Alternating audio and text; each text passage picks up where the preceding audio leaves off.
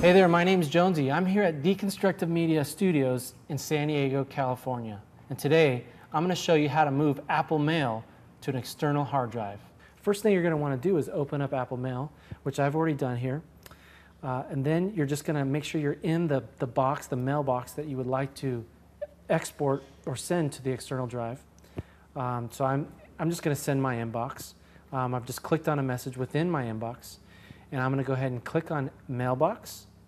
Go down here and choose Export Mailbox. Click that. And a little drop down uh, window appears here. Um, I'm going to go ahead and scroll down to my external hard drive, which is called Jagged here. And I'm going to go ahead and make a new folder. And I'll just call, call this uh, Apple Mail.